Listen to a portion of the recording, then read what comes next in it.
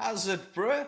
How are you doing? Enjoy the rugby. What a weekend or what a Saturday of uh, Currie Cup action. The oldest premier uh, rugby competition in the world, and boy, did it deliver. Hey, probably a couple of Bulls fans that are not too happy, but um, two fantastic games. Great advertisement for local rugby in South Africa, Currie Cup, after having lost its sparkle to the other competitions. And I must admit, 22 tries, 157 points scored. that is pretty incredible, right? Uh, 12 tries in, in, in the first semi final Lions versus the Cheetahs, and then 10 in the Bulls versus the Sharks. So both high scoring affairs. I expected the Cheetahs to Lion and Lions game to be like that, but um, both both fantastic attacking sides. I must admit, I've always I've always loved the Cheetahs as the underdog, even in the old days of Super Rugby when they when they were in Super Rugby, they took a beating for so many years, and then they had a couple of really good seasons, right? And uh, went to New Zealand and won a few away games, and from the way that they played, they won a lot of lot of fans over. But you know, they always they don't have the resources of, of the other big unions. So I, I love I love the Cheetahs. Uh, I must admit. In any case, what I would say is this, right? Before I jump in just to to these games, right? I haven't done a deep dive analysis. I haven't rewatched the games and all of that, right? So this is just from just from my my initial view of things, and I'll probably watch them again this week sneak a little bit of time off work and say, hey, let's have a little gander at these games, bro, and uh, get fired up again. But I tell you what, right? Is um, I hear a lot of commentary online from a lot of journalists and fellow fellow uh, YouTubers and stuff that that criticize the Boks and this this new approach of what they call Tony Ball.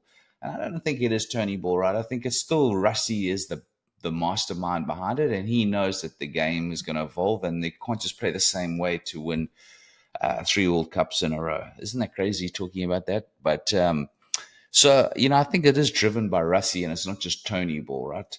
Um, but in any case, I hear a lot of criticism that South Africa, you got to go back to your strengths, your traditional strengths. You're moving away from it. The players can't play like this. They can't think. Well, I tell you what, you look at schoolboy rugby, you look at the Currie Cup, you look at the Varsity Cup that feeds everything that we do in South Africa, and you see there's a lot of lot of running rugby. There's a lot of uh, skillful players, even more so now than we've ever had. And despite all the rules and despite all the, the, the strength of the defenses and all the technical analysis before games and defenses have tightened up, there's still a lot of tries being scored. So I think it's a fantastic advertisement for rugby. And I don't buy into the fact that um, the Boks will struggle to play this expansive game. It's going to take time. Obviously, in the Currie Cup, you have more space. It's a lot looser. The defense is not as tight. But over time, playing uh, those skills, taking them in that high pressure environment over the next two years, three years, four years, right? We might never reach the level of, say, um, the New Zealand All Blacks or France in terms of that's just their in their in their in their genes um, and taught from a very young age. But I think we can definitely uh, play an exciting brand of rugby and still win. And I actually thought in the second half of the first um, semi-final, the Lions actually gave a, a display when they when they um, when their bench had come on. They actually had big, powerful runners coming around the corner. So they're playing that expansive game, but they were still going up the guts and through the middle, as old uh, the honey badger would say, um, from from Australia and really played that power game like, like the Boks, right? But then we're able to expand a wide and, and, still win. So anyway, let's take a look at the game, right? The games. Cheetahs Lions at Emirates Park, semi final number one. Lions win 43 points to 34, six tries apiece. And like I said, you know, I'm I'm a big fan of the Cheetahs, limited resources, and they hung in there. They started like a house on fire. And what an exciting, high tempo game. I mean, you know, if you're a neutral, how can you not enjoy that? Plenty of skills too, right? It wasn't just, you know, throwing cuck all over the place, like direct, very physical, fantastic um, uh, at the breakdown in terms of confrontation and challenging one another, but beautiful, expansive rugby, stepping rugby, you know, but also strong ball carries. And, um, you know, what, what really impressed me were the Cheetah set pieces were phenomenal. 100% scrums, 100% lineouts. Uh, hardly looked like they were going to lose the ball, although they did fumble the ball at the end, which could have given them just put a little bit more pressure on the end uh, on the Lions at the end. I think it was like the 72nd or 73rd minute. If they'd got that, like would have really put a bit of pressure on them. A couple of missed conversions, but you know it's hard to in a game like that, right? Just to say, hey, here's the standout player. Although I will say you know, uh, Sanele Nohamba, when he came on, was absolutely incredible, right? I think he made like 99 meters in the little time that he was on a, on a, on a, as a substitute. So he had these powerful forwards of the line starting to take their toll on on the cheetahs. Um, so and then you had this exciting stepper come on and just upping the pace. But uh, I was impressed by him. Always have loved him at the Sharks. I sad when the Sharks let him go. And Jared Cairns, um, the the number eight. You know, for the Cheetahs, I mean, there's there's there's a lot of good players on the Lions, but for the Cheetahs, I was really impressed with the with the fly half, uh, uh, Wenzel, Ethan uh, Wenzel, Wenzel, Wenzel, I don't know. Um, scored two tries. Cheetahs went ahead, and I think when he off when he went off, there was a, there was a bit of an impact there for sure, right? Um, Michael uh, Amys at fullback. And I must admit, Herzenberger at outside center, really like that guy. And also uh, Daniel Casanetti. Um, you know, Hartzenberg, 112 meters and 12 ball carriers. He was the top ball carrier in the team and made the most meters. And uh, Kasende on the wing, number 11, had nine carries, 105 meters. So, so pretty, pretty, pretty incredible, right? So, a couple of other things, right, is that second half started off just the way the first half ended. Two quick tries, bang, bang, you know, two heavyweights giving it, giving it horns. Um, and let's, uh, let's appreciate two pretty freaking amazing tries. Well, Sanele Nohamba's, uh, Nohamba's try was fantastic, but uh, Morne Brandon, how about that guy? He did a triple somersault. Dude, he was actually he was he was better than that Australian break dancer. What's her name? Ray Gunn or something. The way he scored that try, he was phenomenal. Um, but what a, what a try from the halfway line. I think it was probably like 51, 52 meters. And um, Asanefe uh, what is it? Nohlamba Kanye, right? Uh, what a fantastic tribe. The big boy ran straight through. the guys were hanging on to him like a, a, a, going for a little bit of a bus ride there, speed bump. Um, but yeah, fan, fantastic, absolutely fantastic game. And it's sad for the Cheetahs. I mean, somebody had to lose, but I think it just came down to the to the bench, and you know, I, I don't know what it is. They, they fell away a little bit at the end. When I say fall away, I mean they still scored a try uh, towards the end there. But I think maybe just a couple of those conversions missed. Uh, could have kept up the pressure on the Lions, but hey, bounce of the ball, pass here, whatever. But um, and not as many penalties as the second semi-final, which leads us to the Bulls versus the Sharks. So there's probably going to be a lot of sad Bulls supporters. You know, the game ends uh, 40, uh, 40 all, and um, they had to play, of course, for extra time because the scores were level at full time, so 10 minutes each way and um, I thought the Sharks were dead and buried. Twelve players on the team on the on on on on, the bloody field versus fifteen uh, before extra time, and the Bulls, to be honest, should have put them away but couldn't. But uh, I think that speaks a lot. It reminds me the Sharks actually remind me a lot of, of of the Boks. Right, there was a lot of there's determination, there was a resilience there, and it's like um, we're not going to let this go. Never uh, say die attitude.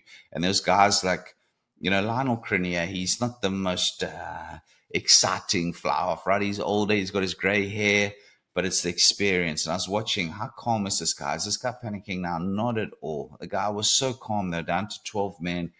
And Andre Esterhuizen stood up in a big way. And in fact, Esterhuizen almost seemed like he was a forward. He was like, I'm, I'm, I'm getting stuck in here myself. So you've got to respect that.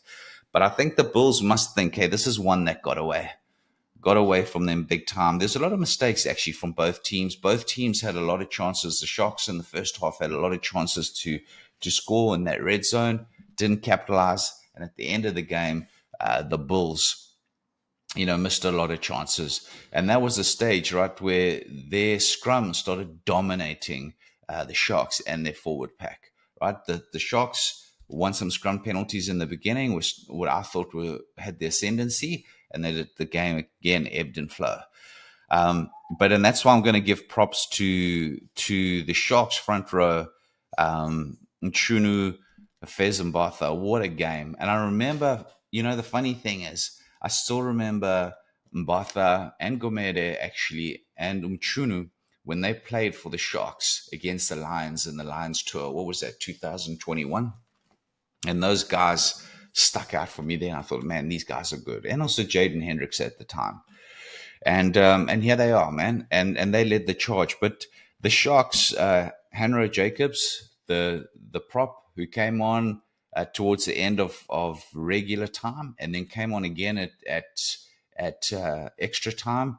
I mean, he must have been exhausted, but he he he was the rock. Without him coming back on, the Sharks have been out that game. I think, right? Ethan Hooker had a good game out of position, right? You can't criticize the guy. Made a couple of mistakes in the first half, a little bit out of position. First time he's played wing, but that guy's exciting. He's big, he's strong, and he's fast. Right, so exciting for for the Springboks. He was already part of the the greatest Springbok team, so hopefully he gets a chance again. Uh, Esterhuizen was good, and actually, really, I thought Jordan Hendrikse uh, was good at 15. I don't know what his plans are, uh, um, or the coach's plans for Hendrikse. Uh, is he going to stay at 15? You know, the Boks uh, uh, chose him at, uh, selected him at, at 10. He didn't have the greatest game there, but hey, new, he's kid. It's okay. He's, and so I actually thought he was good. And Eduan Keyter from the Grick, Griquas, uh, I thought he's phenomenal, supremely physical, gets stuck in, and he's deceptively quick. And then for the Bulls, right, I thought um, Stravino Jacobs, man, that guy's like a tank. Uh, very difficult to stop. And of course, Cameron Hanekom, right? I think, you know, he's in that superstar, sort of really exciting player kind of um, Sacha Feinberg sort of uh, league, right? Um, don't know if he is as much of a superstar as Sacha. But the only thing about uh, Hanekom, unfortunately, the poor guy is uh, he gets a lot of injuries. So he he got taken off, um, you know, with the HIS assessment, I think, and then he took another bang, right? And uh, David Kriel was good. Uh, Letebele was good. Gumede was good. Cobus Visa was good, uh, I thought, and Marcel, Marcel Coetzee. The interesting thing, though, for where, where, the Lions and the Cheetahs, they had standout players in terms of ball carriers uh, and meters made. For the Bulls, you see, it's almost it's almost the same all across. So there wasn't like one person that was really sticking out um, in in that uh, in that game. Apart from guys like uh, um, Stravino Jacobs and David Kriel, right? They got to double figures, almost double, double figures in in ball carries, but they mo- made the most meters, right? So like 110 and uh, 103 meters or 105 meters or something like that. Whereas um, for the Sharks, they had their ball carriers. James Venter won uh, man of the match. But then they have, um, you know, Ethan Hooker uh, made a lot of uh, meters, a lot of ball carries too. And then it was Esterhuizen, it was Eduan Keyter. Uh, these guys are getting like double figure ball carriers, and then Jordan Hendrikse. But Ethan Hooker, I think like 169 meters. Um, Eduan is like 140. Sorry, that was Esterhuizen 140, 144. Uh, Keyter did like close to 160, and then Jordan Hendrikse uh, um, also um, around about 140 or something like that. So again, it was just a phenomenal semi-final, very, very tense, very exciting at the end. And for those of you guys who are passionate fans, fans, you probably thought, hey, geez, this weekend I'm going to relax because the Boks on playing. I'm not going to have heart failure. I don't have to have the defibrillator there close to me. But if you one of those fans, I mean, I'm a Sharks fan, but I sort of um, I'm not crazy, crazy. Like, don't get stressed out about it, right? So, given what's happened over the years, but um, yeah, man, I just love all the South African teams. I'm just stoked that we had such great uh, semi-finals. So next week, next Saturday, the 21st, Sharks are traveling up to the Lions in Emirates Park, and uh, we'll have to see can the Sharks recover uh, after such uh, a, a emotional win. But hey, I forgot to say, I forgot to say, right? I spoke about uh, um, the tries from the Lions players, but what about that damn try from Trevor uh, Nyakane, right? I actually thought he he was a bit injured when he came on, but then uh, what a, what a finish at the end. So happy for the big boy. He did his little dance at the end. So sorry for the Bulls supporters. I mean, that's heartbreaking. You finish 40, 40 each a piece, but the Sharks win because they scored six tries versus the Bulls four tries in that game. And like I said, on to the to the final next week. And let's see, can the Sharks recover? The the Lions will be on a high. They'll be confident and uh, it's going to be a cracker of a game.